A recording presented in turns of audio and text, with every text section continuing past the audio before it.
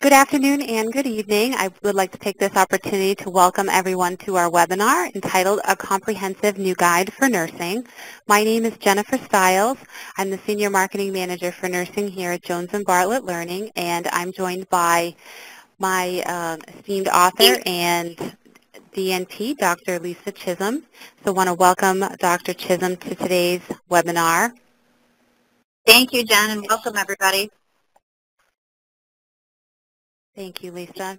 Pardon me just one minute. We have just a few folks who are uh, just wanting to dial in and that just need that information. So we'll get that to them so that they have it. And we'll go ahead and get started. So we're very excited to talk about the third edition of Lisa's new title. And before we do so, I'm going to ask Lisa just to tell us a little bit about herself before we get started. Okay, sure, Jen. Um, currently, I'm the clinical director of the Women's Wellness Clinic at the Karmanos Cancer Institute in Detroit, Michigan and Farmington Hills, Michigan. Um, right now, we care for patients with new breast problems, benign breast problems, patients at risk for breast cancer, and breast cancer survivors. And through this practice, um, I noticed a need to help women who've been treated for breast cancer with their menopause symptoms that sometimes are induced by their treatment. So I became a certified menopause practitioner in 2010, and I recently completed a certificate as a sexual health counselor and educator from the University of Michigan. So now I've developed a menopause and sexual health clinic within the Women's Wellness Clinic that's been a really exciting um, adventure and been caring for women for these concerns, mostly women with a history of cancer. Um, I completed my DNP degree in 2007 at Oakland University in Rochester, Michigan. We had the pleasure of being the first DNP graduates in the state of Michigan. Um, I've been a registered nurse for, oh boy, 22 years, no, 25 years now, and I have been a nurse practitioner 21 years. So I've had an amazing career that just keeps getting better. Um, I've been involved in educating others about the DNP degree since graduation and uh, through the textbook and also through guest lecturing, speaking nationally about the DNP degree as well as about menopause and now sexual health.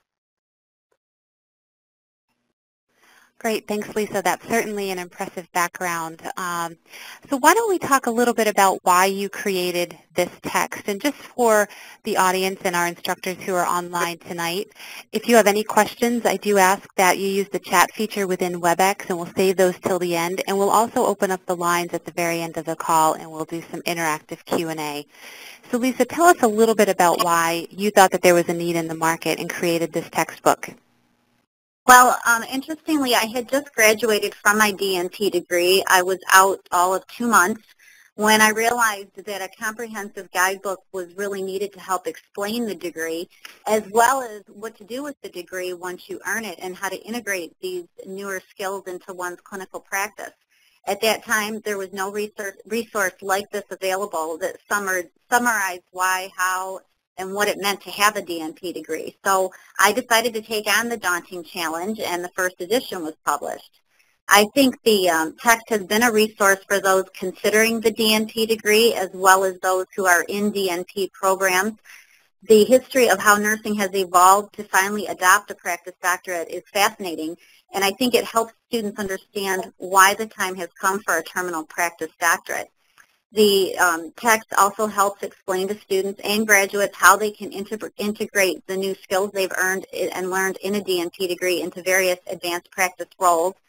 For example, there are chapters on the DNP graduate developing roles in leadership, clinical practice, education, ethics.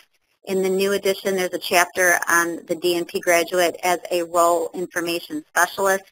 Um, and there's also a new appendix that shows examples of how I've integrated the DNP degree into my practice.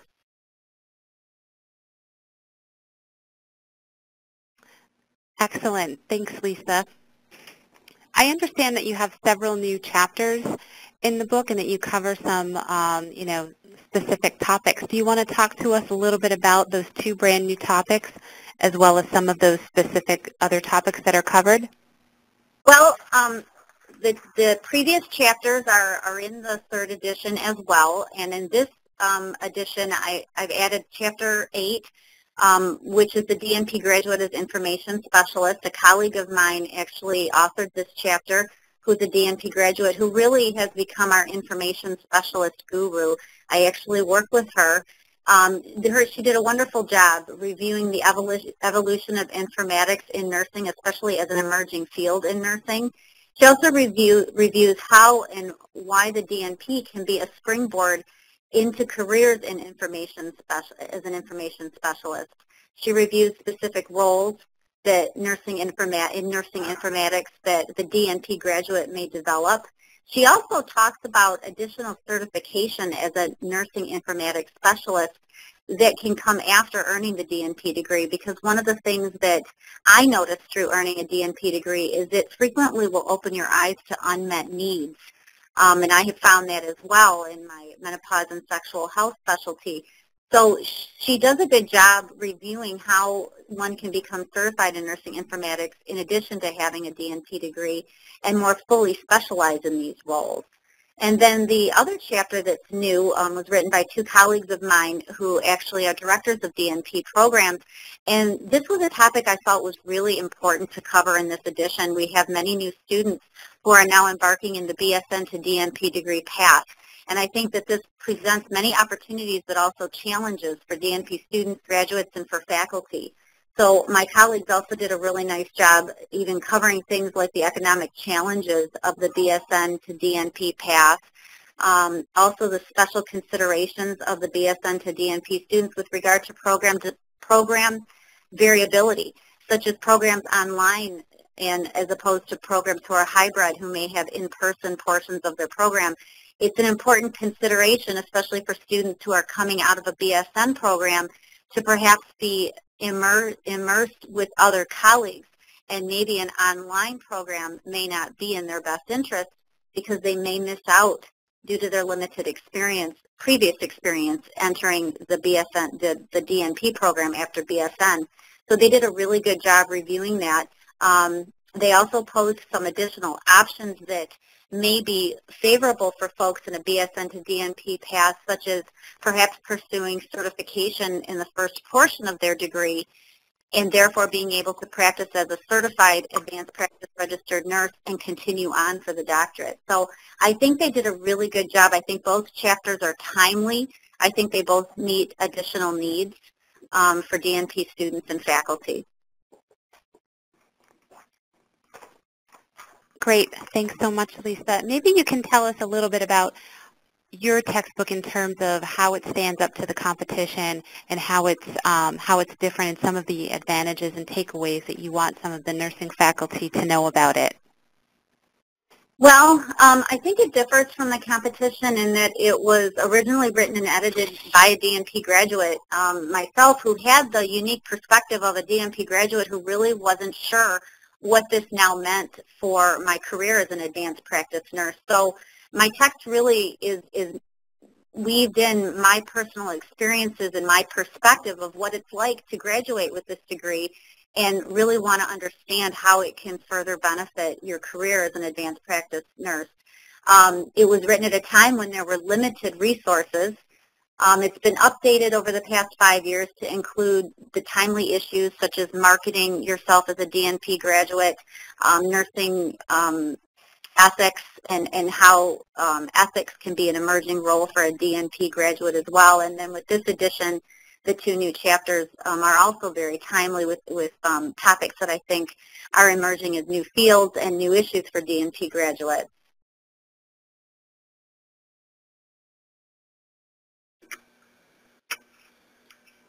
Thank now, as far as, did you want me to talk about the takeaways as too, Jen?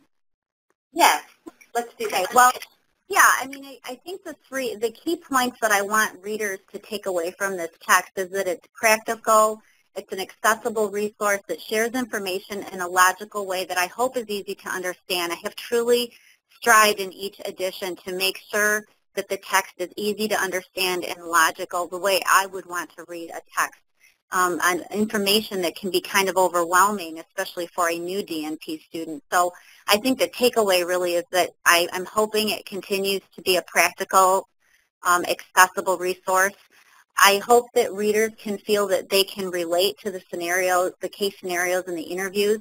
I've updated many of the interviews and I've added numerous new interviews and some of the interviews are actually with DNP students who are in the trenches working and trying to get through their DNP program with ideas as to what they think the DNP degree is going to be able to do to enhance their career as advanced practice nurses.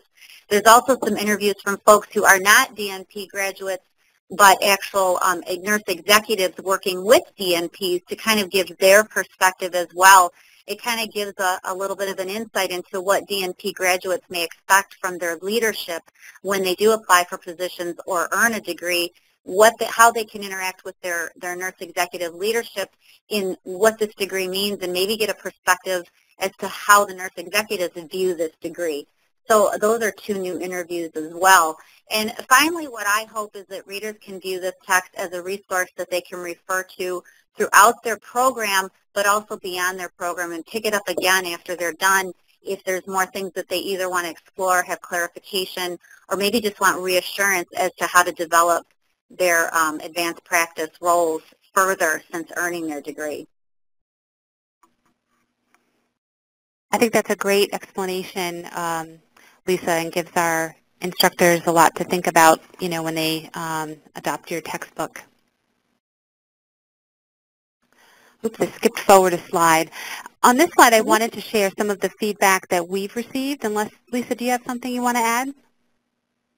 Um, I really, um, the feedback I get from folks are, are frequently students, and I'm fortunate that I've gotten really positive feedback from folks who do tell me that it's a logical, easy to read resource. Um, has really helped them understand what the DNP degree is about and help them make their decision to go back to school for their DNP. Um, not being in academia, I'm not always exposed to faculty feedback, so um, it's reassuring to me to know that, that faculty can find this text useful. Yeah, so we hear that a lot of times, Lisa, that we have a lot of faculty who are teaching programs, who are new to teaching programs, and I just pulled together a few uh, quick quotes that I have and wanted to share them with other faculty today. Uh, the first instructor tells us um, that it was especially useful within the DNP residency and scholarly project development, that the text is well written and uh, well referenced. Another instructor tells us that this textbook has been uh, very well received by students because it's easy to apply and also easy to navigate. And, you know, we have also another instructor that tells us she's taught advanced practice roles for 12 years and that this book really best meets her course needs and really covers the content areas that she seeks to cover. Well, that's very reassuring. I think this is also a nice segue into some of the tips that you might have for students who are currently in the program. Um, yeah, sure, Jen. I, you know, I tell students when I get to meet and work with folks and either precept students or um, get to talk with students who are in DNP programs, it's really, really important to discover your passion. And whatever you're passionate about, take the skills that you are learning and the additional information and knowledge that you're gaining from a DNP program to build on that passion. Even folks who are coming from a BSN to DNP degree, you're going to figure out and develop your passion throughout your journey. And what's important is you build on that passion. Speaking of the DNP Scholarly Project, which the um, one faculty mentioned, the DNP Scholarly Project is a great way to begin scholarship. I had not begun my scholarship until my DNP project, and it really served as a springboard to build on something that I was very passionate about. And at that time, I'm still passionate about spiritual care, and I had the wonderful good fortune of um, doing a great project with my mentor, Dr. Morris Magnan, on spiritual care, and it really served as my springboard to scholarship. So I tell patients, don't get discouraged, and not, excuse me, not patients, students, don't get discouraged and bogged down um, by the by the project It's actually something that should excite you. You should be passionate about it. If you are passionate about it, it's going to make it easier to be married to it because it's going to be something that's going to take a lot of energy and a lot of time. So you want it to be something you care about. Um, again, it's your springboard to scholarship. It's really the beginning of how you start building that part of your career. And one of the best things that I found from returning to school for a DNP degree is it did introduce scholarship into my career. And I had not spent any time developing scholarship prior to that. Now I understand much with a much broader sense how important scholarship is. Um, also, I want to relate that when you do, I tell students, when you are in the program, sometimes doctoral study can be overwhelming, but give yourself time when you get out to assimilate into some of the new, maybe new roles or new aspects of your role that you can now develop. Um, I actually included in the text a new appendix that shares with folks how I integrated the eight essentials of doctoral education from the AACN into practice so that folks can see it really isn't that hard to begin developing these essentials within your career and you really are using these essentials. They are really are part of what you're doing on a regular basis and hopefully the appendix will help students see that. Um, I also included more personal anecdotes throughout this text um, and shared a lot more about my personal experiences so that students can understand how much this degree can really impact your career. I tell folks over and over again, sometimes you don't realize while you're in it just how much it's changing you and going to change how you view nursing, how you view nursing practice. Your perspective will change and your lens will change. You will view the world differently from a much broader perspective. So I think some of the tips I want to share with faculty and with students is help students understand that while doctoral study can bog you down, it's okay if you don't exactly understand how the degree is going to impact you until you get done because sometimes that's the unfolding that has to occur and you actualize into your degree, into your new roles and the skills that you've developed to help build on your passion and help help your journey. I have found that although sometimes it's daunting, the degree can really transform you. Um, and it's definitely a journey that I have truly enjoyed. These are all really uh, wonderful tips, Lisa. Thanks so much for taking the time to share those, and I know that our instructors can pass those along to their students. So we're at the formal end of the, the presentation, and if you have any questions, we will be opening up the lines for live Q&A. Likewise, if you have any question that you want to ask via the chat, you can feel free to do so. You can um, just pull down the participant list within WebEx. You can right-click on um, my name, Jennifer Stiles. I'm the host, and I can um, relay that question. If you want to receive a review copy, you can go ahead and request that by visiting go.jblearning.com slash DNP3. If you'd like to learn more about the DNP degree, Lisa recommends that you visit the fact sheet that's located on the AACN's website, and these URLs will be sent to you um, post-webinar as well. And lastly, Lisa does offer up her contact information if you have any questions and you'd like to reach out to her directly, so we'd like to thank her for doing that. So Lucy, at this time, I'm going to invite the operator on the line, and if you wouldn't mind instructing our participants if they have any questions, how they can do that. If you would like to participate in the interactive question and answer session, please press star, then the number one on your telephone keypad. You will hear a tone acknowledging your request and a prompt to record your name. If no name is recorded, your line will be removed from the queue and your question will not be taken. We'll pause for just a moment to compile the Q&A roster. Great. Thanks so much, Lucy. And again, if anyone has a question that they'd prefer not to ask over the phone, you may do so via the chat. And just to re reiterate, the third edition of the Doctor of Nursing Practice is available now. It just published recently, and we're super excited about it. And just to mention, um, Lisa's previous edition was the AJN, the American Journal of Nursing Book of the Year award winner, so we're really thrilled and happy that she received that honor too. Lucy, any questions at this point? Yes, and your first question comes from Ms. Anderson. Great. Oh, please go ahead.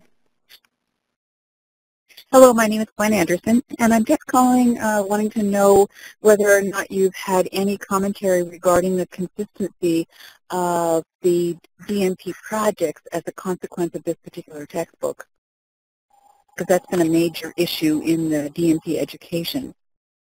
Yeah, it, you're absolutely right. Um, I guess I don't really understand. You're, you're questioning whether or not the textbook has helped w- answer questions regarding the DNP project? Yes, I'm just wondering if you've received any uh, comments regarding the fact that the book is particularly helpful in providing consistency in the expectations for the DNP project. Okay. Um, one chapter in particular does cover the DNP Scholarly Project. I believe it's still, well, I have it right in front of me, so let me double check so I don't tell you wrong. Chapter 4, Dr. Morris Magnan's chapter, he was actually my mentor, and I have consistently received comments that this chapter is helpful in discussing the DNP Scholarly Project.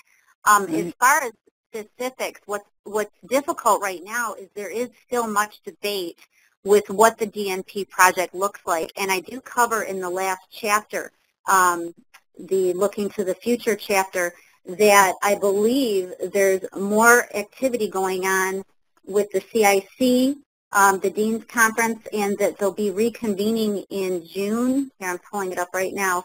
Um, a task force was convened in January um, and is reconvening in June of 2015 I believe via the AACN to further clarify the um, the scholarly project because there is so much debate. Um, my Dr. Magnan's chapter is excellent, and then I believe he gives folks a lot of information and tips about the DNP project and advice about it. The consensus on folks really deciding what makes up a DNP project is still much debated in the literature. And so it's difficult to really give very straightforward advice as to what should be in the DNP project because I think that's still in development. But the um, Dr. Magnan's chapter actually does do a really nice job addressing the project in a, in a general sense. Thank you for that response. Oh, you're welcome. And your next question comes from the line of Marie Lenz. Hi, uh, this is Marie Lindsay, actually. Uh, so I'm assuming there are accompanying PowerPoints, as there have been in the previous editions, and are there any other either instructor or student resources?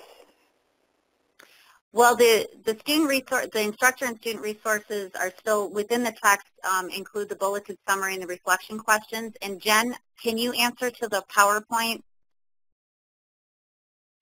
Yes, there are PowerPoints available. Okay, so that's that's basically the those are the resources, the, the PowerPoints and whatever is in the book itself. Correct. Yes, that's correct. Okay, thank you. You're welcome. You're and welcome. Again, that is star one to ask a question. And we have a question from uh, Linda. Uh, she's saying that there are questions regarding the practice immersion experience and the implication for the practice project. She'd like you um, to comment on that, Lisa. I'm, I'm sorry, what was that, Jen?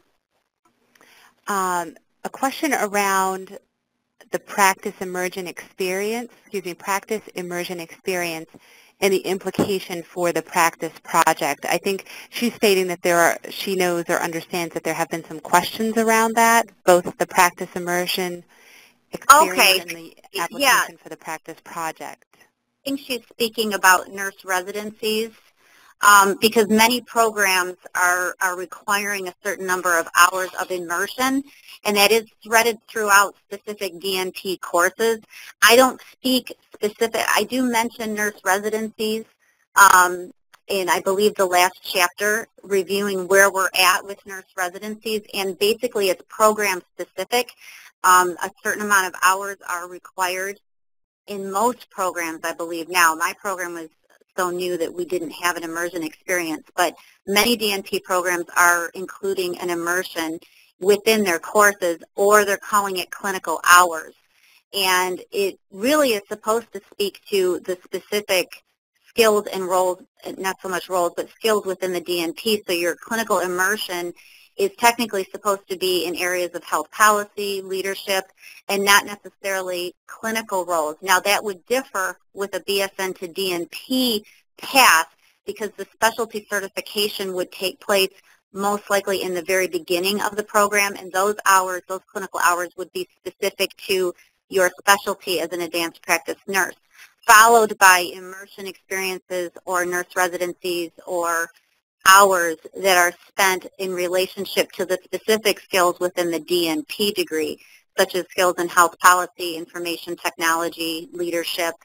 Um, I do cover those broadly, but because that type of um, curriculum is so program specific, it's hard to speak to what each program is doing for role immersion. And I do know that many programs then take this role immersion and do help develop the DNP Scholarly Project through perhaps what is done in the role immersion.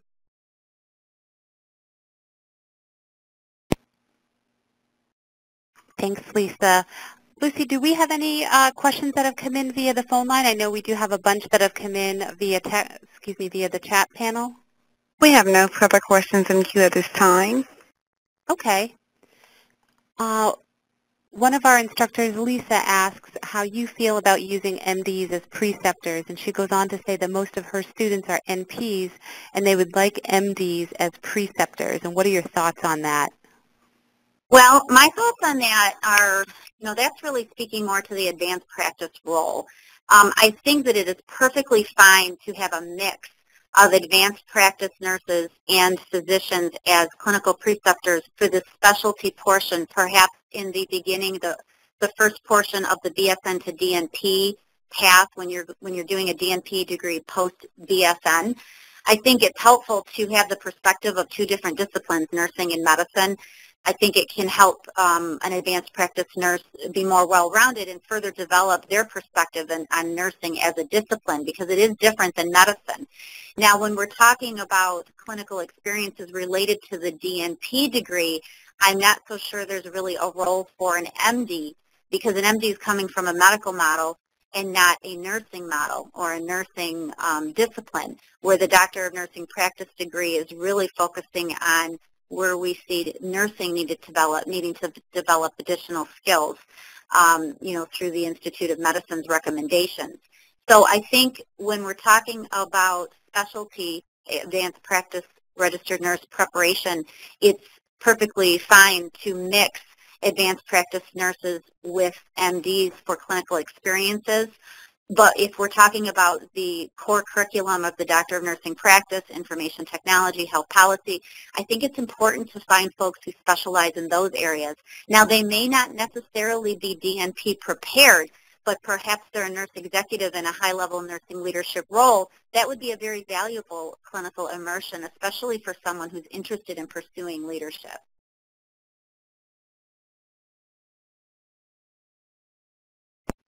And I think that answered her question for sure. Thank you. And do we have any more questions coming over the phone line? Not at this moment. Okay. If you do have a question um, and you don't mind resending it via chat, I think that there were a couple of questions that might have um, gotten lost there. So Linda, thank you. I see your question, so let me pose that question right now. So Linda says, I am working with students in a DNP program who are working as APRN slash NPs in acute care physician practices where we are struggling to bring them into the DNP role. What are your thoughts about the credentials needed by preceptors in the field who are mentoring DNP students in DNP practicum hours? Well, again, I think that um, that speaks to what type of clinical immersion or practicum hours the DNP student is looking for. What kind of interests are they looking to develop, such as either policy or leadership. I think that um, if you're in an acute care setting, you can certainly find folks who are in leadership roles. You can find folks who are involved in information technology. I think what's, in, what's important is you find folks to mentor you and perhaps spend clinical hours with who are going to further develop the skills that you want to develop to whatever your interests are once you finish your degree or through your degree. So again, I don't think you have to be a DNP graduate to mentor students and to precept students in a DNP program. I think what's important is that that mentor or preceptor is bringing something to enhance the student's education in whatever area that student is pursuing. It is difficult to find preceptors in general for either advanced practice roles or folks in um, in the in a DNP program. So I think you do have to get creative and really in the end, focus on what is that student trying to develop? What additional skills as a DNP student are they trying to explore? What is it that they're passionate about when they want to finish their degree? And really hone in on that. I think that it's okay if folks aren't DNP prepared.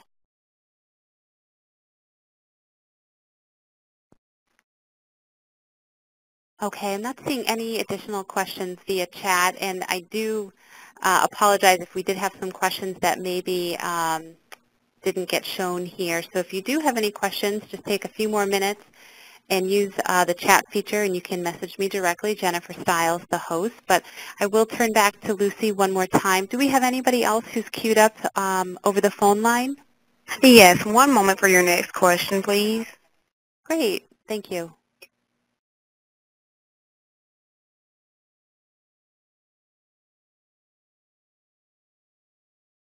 And your next question comes from the line of Vicki Martin. Yes, hello. My name is Vicki Martin, and the area that I work in, I will be graduating with my DNP May 1st from Chatham University. And the area that I work in, um, the physicians here are not very receptive to the DNPs, and we have really pretty much been um, almost ostracized because of the degree. We are looking in our college um, of setting up a DNP program. Do you have any pearls of wisdom to bridge the gap for um, other than team collaboration, just to educate them on what our roles are so that they would be more receptive to the DNPs? Thank you. Oh, wow, that's a great question. First of all, congratulations. Thank um, you. welcome. Well, you know, I mean, I don't know how familiar you are with the text, but I certainly understand what you're going through. I dedicated a whole chapter, chapter 11, to the doctor-nurse controversy um, using the title, but really that kind of bridges over to talking about acceptance of the DNP degree by medical, our medical professional colleagues. Um, advice I would have um, personally, what I have found, I never have really push the title doctor with my colleagues. Um, the setting that I'm in right now, I started off just Lisa Chism, and as I slowly began to get to know folks, and I work in a very heavily academic research institution, um, an NCI certified cancer center that's surround, surrounded by folks who are MD, PhDs. So I very carefully tread lightly and tried to be as non-threatening as possible and educated others about the degree. I've got a, a, chapter dedicated to that too, chapter 12, why didn't you just become a doctor? Um, because you really do have to tread lightly, and this is where you have to use your emotional intelligence and not threaten folks. The reason why I think our medical professionals are threatened by us is they think that we want to take their place, and we don't. They need to understand that we really want to work side by side. And this may even be more part of an APRN MD issue, which we face in Michigan as well, um, still not passing a very powerful bill that would help improve our practice. So it is not terribly uncommon what you're experiencing, and I do empathize with you. I've been fortunate to be in a couple different settings since getting my DNP where it was accepted, but I will say the setting I'm in right now, my colleagues are very respectful, but I was very careful to take the opportunity to educate them about the degree. I think you need to develop your elevator pitches so that you can speak very quickly as to what a DNP degree is. It is not a medical doctorate. It's a professional degree, but so is a medical doctorate, by the way. The only academic degree is truly the um, PhD. Um, the rest of us, you know, PharmD, MDs, folks with doctorates in, in physical therapy, we all hold professional degrees. And I think it's difficult, it's hard. I want to give you all the advice in the world and all the empathy in the world because it is a really difficult um, line to walk. You do want to encourage collaboration. You might want to offer in-servicing them um, on exactly what is the DNP degree. Um, you, I don't know how you feel about using the title doctor, but I've been careful with it, um, especially in my setting. And what's interesting is now they call me Dr. Chism when prior to first took about a couple years of me carefully educating them about the degree. I'm not that worried about whether or not they call me Dr. Chism. I don't introduce myself to patients as Dr. Chism. I call myself Lisa Chism. And if a patient calls me doctor, I'm just very clear that I'm a nurse practitioner, but they're more than welcome to call me that. I think that it's a power struggle that's not a new power struggle. Um, I think there is a lot of information in the text that can help you. There's at least three chapters that really kind of look at building relationships with others, building bridges, educating others, including our medical colleagues, and how to carefully tread these waters. Thank you very much. And by the way, we're using your second edition um, DNP book at this time in the program that I'm graduating from, and I absolutely love it. So I know the third edition will be only that much better. Well, thank you so much. Thank you. We have no further questions at this time. Okay, I do have a couple more questions that have come in over the chat, and we have one uh, instructor who's asking, can you talk a little bit about more how this textbook can meet the needs of the CNS to the DNP, if we haven't covered that already? Oh, the clinical nurse specialist to the DNP. Um, well, that is going to be, um, you know, that's going to be, the, the DNP degree is a generalist degree, and I talk a lot about that in the text, the fact that it's not a specialty degree. Um, so it's really for any, it was originally um, visioned for any of the four APRN roles, clinical nurse specialist, nurse midwife, nurse practitioner, and nurse anesthetist. I believe now as, as time goes on, it's also a generalist degree for nurse executives, folks looking at population health, public health, health policy. So it really is a generalist degree. So a lot of the examples in the case scenarios actually do include clinical nurse specialist roles. I was very careful to make sure that we included um, case scenarios that covered many of the advanced practice and even non-traditional advanced practice nursing roles. So really going from CNS to DNP theoretically is very similar to any APRN role to DNP. In fact, I think the CNS has such a unique role with, with regard to you have many different responsibilities, such as a responsibility to educate others that you work with. You actually may have some contact and, and administrative responsibility. You have perhaps a research role as a CNS. So I really think the DNP richly prepares a clinical nurse specialist to go beyond and further enhance their career and their practice. So I, I, think you'll find there are existing case scenarios that are re that really talk about the CNS role and use the CNS as an example. Um, also in chapter one, um, I do talk about the National Association of Clinical Nurse Specialists and that they now also have um, DNP, um, um, not, not essentials, but um, core competencies, much like the NONPF they also have core competencies. So that is included in Chapter 1 as well as how to go on the website for NACNS and access their core competencies, but they're also included in Chapter 1. Thanks, Lisa. And just a reminder, uh, if you do have a question that we didn't cover and we didn't get to it via the chat, I'll take a few more minutes and we'll take a few more questions.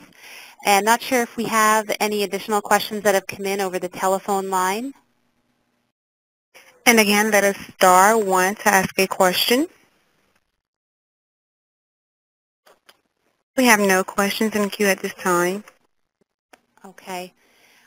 Well, I think that concludes our presentation today. I really want to thank Lisa Chism for taking the time to talk about her experience as well as talk to you about what's new in the third edition. We're really, really excited that this textbook is is out, and we've gotten some great feedback um, from instructors already. So we do hope that all of you will take advantage and go ahead and request a review copy. You can do so at go.jblearning.com slash DNP3. If you'd also like to learn more about the DNP degree, if you have any additional questions other than what we've covered here today, I invite you to check out the fact sheet that Lisa has uh, referenced via the AACN website. And her email is also listed on the slide in case you want to follow up and ask her any additional questions. Do appreciate you taking time out of your evening with us tonight. And also uh, thank you again to Lisa Chism. It was a real pleasure to have you today. Thank you. Thank you so much, everyone. Thanks so much. Thank you. This concludes today's conference call. You may now disconnect. All presenters, please remain online.